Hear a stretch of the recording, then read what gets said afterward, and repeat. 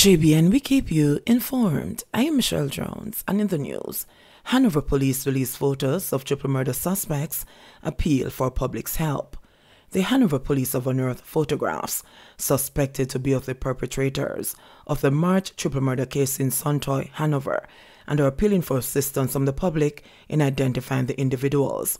In a release shared with photos on the night of the incident, the police said detectives have made some headway in the case, having followed several investigative leads and lines of inquiry.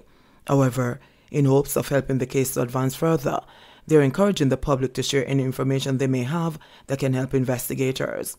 Individuals were taken into custody during an operation by a joint security force team in the parish in March as lawmen probed the attack that claimed the lives of 44 year old Omar Mahabi, 55 year old Michael Smith, and 37 year old Mark Austin. Police report that shortly after 7 p.m., the men were installing security cameras at a mini mart located at the Logwood Santoy Crossroad when gunmen posing as customers opened fire on people outside. Smith and Austin died on the spot, and their bodies were moved to Doyley's funeral home after the crime scene was processed about 12.35 a.m. Thursday. Mahabi was pronounced dead at the Noel Hospital in the parish. Investigators can be contacted via the Lucea Criminal Investigations Branch at 876 956 2304, Crime Stopper 311, the National Intelligence Bureau tip line at 811 or any police station. Man killed in head-on crash involving ambulance in St. Bess. A man died as a result of injuries he sustained in a three-vehicle crash involving an ambulance on the Luana Main Road in St. Elizabeth on Saturday morning. Police have not yet released his identity. According to the police, about 9 a.m., the ambulance was traveling from Black River towards Middle Quarters when the driver attempted to overtake a tractor trailer while negotiating a corner and collided head on with a Honda motor car which was traveling in the opposite direction. The impact resulted in a collision with the trailer. The occupants of the motor car and the ambulance were rushed to hospital, where the driver of the car was pronounced dead. AR 15 among two firearms seized in St. James. The St. James police are reporting that they seized two guns and 42 rounds of ammunition during separate operations on Friday morning. According to a police source, officers assigned to the Mount Salem Zone of Special Operations ZOSO were conducting a snap raid along Pigott Street in the community, where they found a Smith & Wesson semi-automatic pistol with a magazine containing 12 live 9mm cartridges beneath some rocks. Hours later, while acting on information, Members of a joint police military operation from the Norwood ZOSO conducted a further operation where an AR 15 rifle with 30 live 5.56 cartridges were recovered, the police said. No arrests were made in connection with either gun seizures. The St. James police are investigating. In the meantime, citizens are being encouraged to call Crime Stopper 311 to report guns and other illicit activities in their communities. Man dead, six others injured after shooting in Kingston. A man is dead and six others wounded following a shooting incident on Greenwich Park Road in Kingston on Friday evening. The deceased has so far only been identified by his alias, Berry. Information received is that a group of people was on Greenwich Park Road about 7 p.m. when a motor car drove up on the occupants of the vehicle opened gunfire at them before escaping. Barry was among seven men shot in the incident. They were taken to hospital where Barry succumbed to his injuries. Man gunned down near market in Montego Bay. The police in Montego Bay, St. James, are investigating the shooting death of a man in the vicinity of the Charles Gordon Market. The deceased has been identified by the police by the alias FIFA. The shooting happened about 7 o'clock on Friday morning.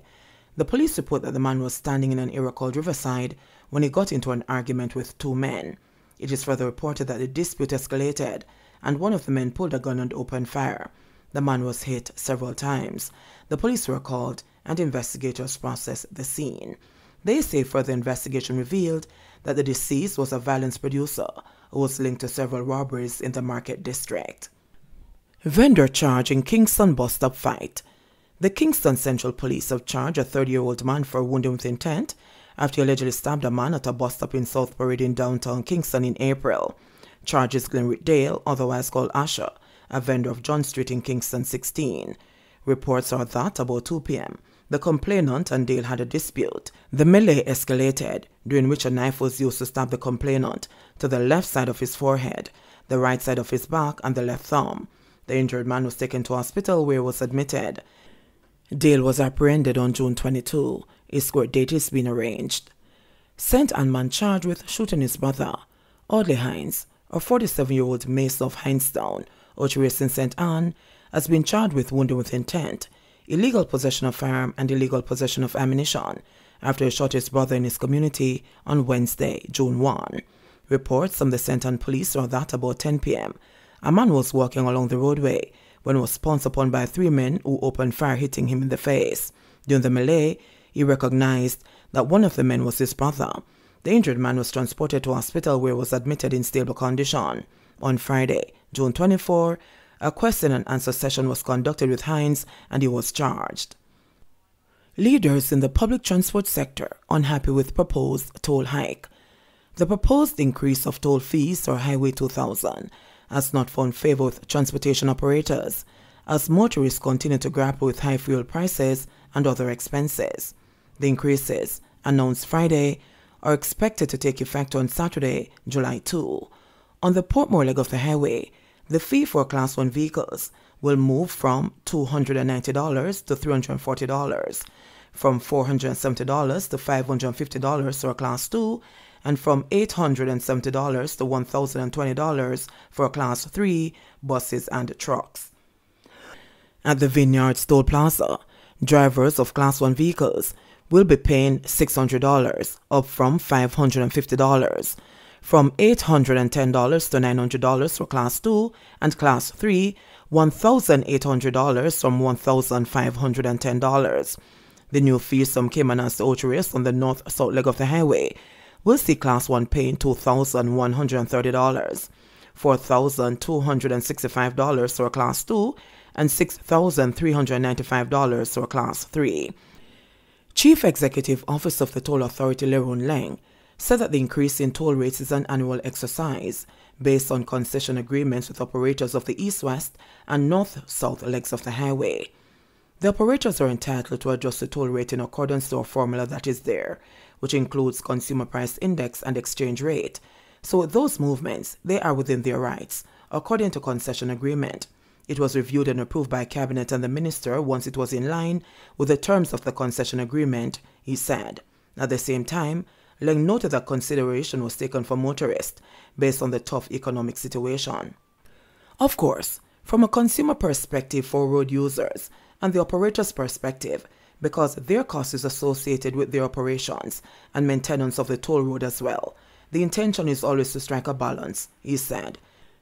They're not charging the maximum allowable toll charges at this time. Many of the links are being charged below the maximum that they could have charged.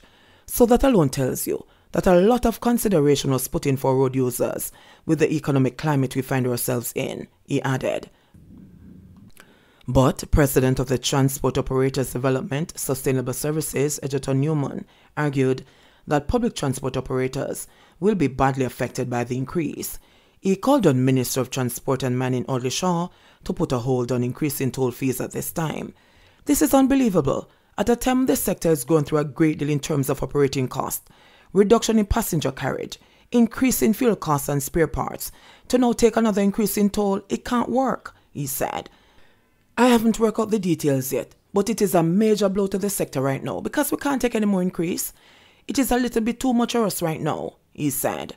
A similar response was given by President of the Jamaica Union of Travelers Association, Kingston chapter, Noel Williams. Given what is happening at the increased price of gas and other things we are facing, I think it is a very bad decision, and I don't think the government should grant that increase on the toll. Every resistance should be put up to reject that request, said Williams. I am not supporting it. We have over 6,000 operators in our systems who operate island-wide, and we are saying no to the toll increase at all cost. We are not supporting it. If the toll were to increase, I think the minibus and the taxi men will very well have to ask for an additional increase also because of that, he added. The toll increase will range between 9.09% and 26.67%. At the same time, the operators have offered to lessen the impact of the increase by proposing to offer a discount to motorists who use the Portmore and Spanish Town toll plazas after their 10th trip. With the notice of the proposed increases published Friday, the public will have five days to provide feedback to the Transport Ministry.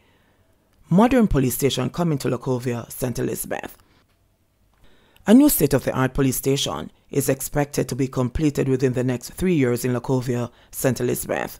According to a release, Minister of National Security Horace Chang broke ground for the 5,223 square foot facility, which is expected to cost $175 million. Speaking at the event on Thursday, June 23, the minister insisted the government's bid to upgrade police stations across the island will allow the officers to better serve and protect citizens. We want to send the message clearly to the country that the government is committed, without any reservation, to investing in our security forces and to give them the capacity to respond to the level of violence in the society, said Chang. Construction is expected to commence in July. The minister also affirmed that the government is equipping the Jamaica Constabulary Force, JCF, with the necessary tools required to respond to crime and effectively do administrative work. We will ensure that they get computers, smart instruments to be able to communicate quickly and in real time, to be able to manage cases, and to be able to respond quickly, he said. Six police stations across the island have already been constructed under the ministry's project Rebuild, Overhaul and Construct. Jamaica reports 150 new COVID cases, one death. Jamaica reported 150 new COVID 19 cases and one death on Friday, according to the latest statistics from the Ministry of Health and Wellness. This pushed the total number of cases of the virus since the start of the pandemic to 142,276 and the death toll to 3,113. Of the newly reported cases, there were 73 females and 42 males with ages ranging from 92 days to 85 years. The cases were recorded in Kingston and St. Andrew 48, St. Catherine 33, St. James 10, Westmoreland 5, Hanover 4, St. Anne 4, St. Thomas 3, Clarendon 3, Manchester 2, St. Elizabeth 1, St. Mary 1, and Trelawny 1. The country also recorded 92 new recoveries, bringing the total number of recoveries to 90,479. The positivity rate for the latest round of testing was 20.4%. There are 97 people hospitalized, three of them critically ill there are 2,148 confirmed active cases on the island. JBN, we keep you informed. Please remember to subscribe, like, share, leave us a comment, and click the notification bell to receive our daily news items.